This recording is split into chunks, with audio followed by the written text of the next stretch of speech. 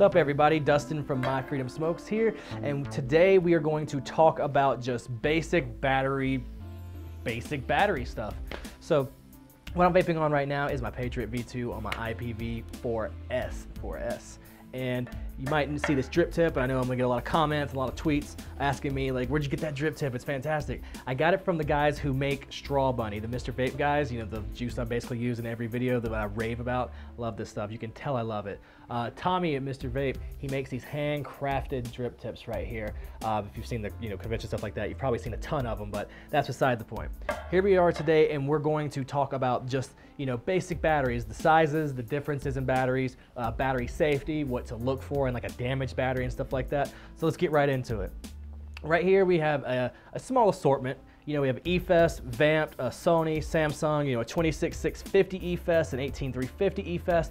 And then here, I believe there were, these are Sony's in here, you know, two out of the box, you know, not, not married, but, you know, uh, for the sake of, you know, this video, these are, you know, to be married batteries, and I'll get into that.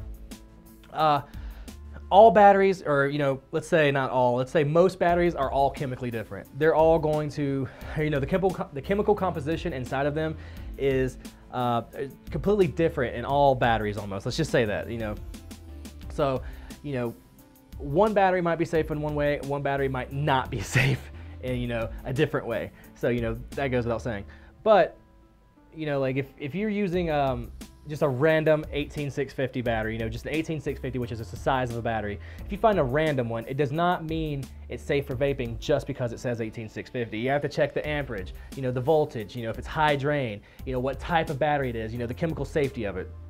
Uh, so, you know, basically right now you can trust brands. And that, I, I, hate saying that, but you know, you don't want to take apart a laptop and just pull something out of, you know, the battery pack. Most of them have 18650 rechargeable batteries in there. They're not safe for vaping. You put them in your mechanical mod with a low ohm build and you're going to get hurt. I'm just going to say that. It, it, it's dangerous. You don't do that. So use safe batteries. You know, for example, the Sony's, the VTC 3s, 4s, and 5s. We sell VTC 4s.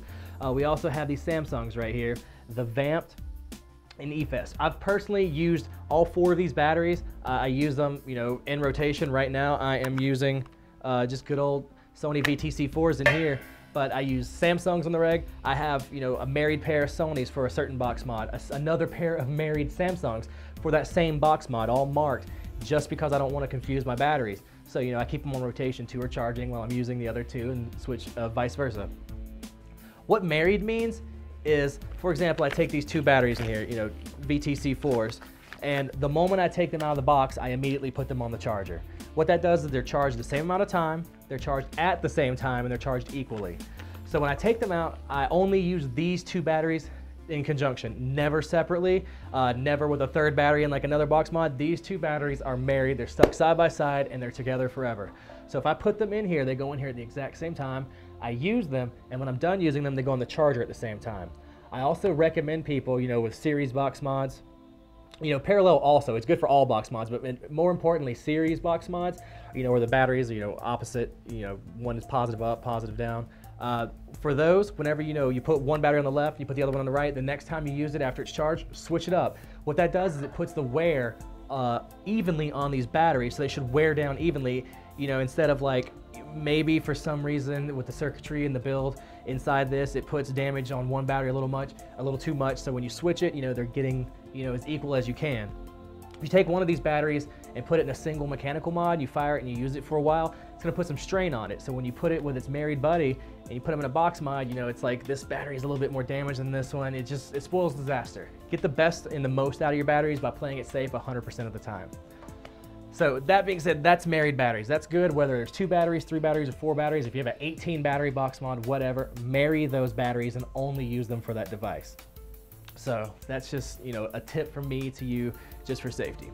Uh, battery size, you know, like I said, these are 18650s. We have an 18350 in here, which is probably a third the size of an 18650, maybe half uh, 26650, you know, which goes into, you know, bigger uh, mechanical mods, 26650 mods, your 28 millimeter, 30 millimeter, whatever mechanical mods, or, you know, your powerful box mods. 18650, run of the mill, most things use 18650. I would say 85, 90% of everything vaping related, uh, you know, nowadays would probably use 18650s if it's not, you know, like an eGo thing or an internal battery or something like that. Uh, I don't really see 18350s that often anymore.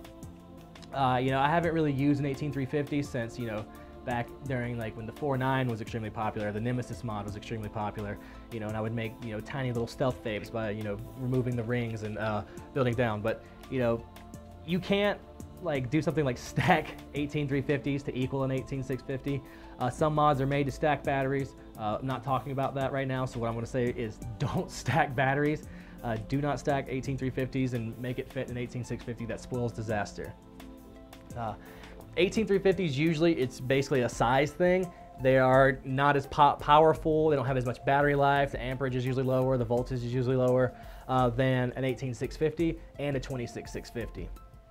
Whereas a 26650 has mostly the, the greatest battery life of all the battery types, as far as I know at the moment. So when it comes down to uh, like battery life, you usually choose a 26650. When it comes to stealth vaping, 18350s. When it comes to all around jack of all trades, 18650. So, you know, uh, with 18350s, you can't really build extremely low, especially, you know, because the amperage is low. So that is pretty dangerous. You know, you don't want to put like a 0.03 build on a 18350 mod. That puts an extreme amount of stress on these batteries. What you, I really recommend to new people is to download a battery safety and Ohm's law calculator on your smartphone, or you know, find a website, Google Ohm's law calculator, find one, take your battery, get the specs on it, uh, the amperage, voltage, uh, you know, whether it's high drain, anything like that, type it in, uh, and then you it fill in the variables and all that. You can get like the uh, the lowest resistance you're able to build on that. I don't like to skirt close to that. If it says that you know a 0.7 is the safest you could do, I'd recommend you build a 0.8 uh, you know, that's you. That's, you know, what you do with these batteries is up to you. But, you know, hopefully this video helps anybody uh, new to batteries that are confused. There's so many on our website. Uh, basically, we've narrowed it down to these four right here, which are trusted batteries, the ones uh, we feel safe enough to sell to the public. We have confidence in these batteries. They've you know proven safe on the market. So hopefully this helps you guys into making a decision. And as always, I'm Dustin from My Freedom Smokes.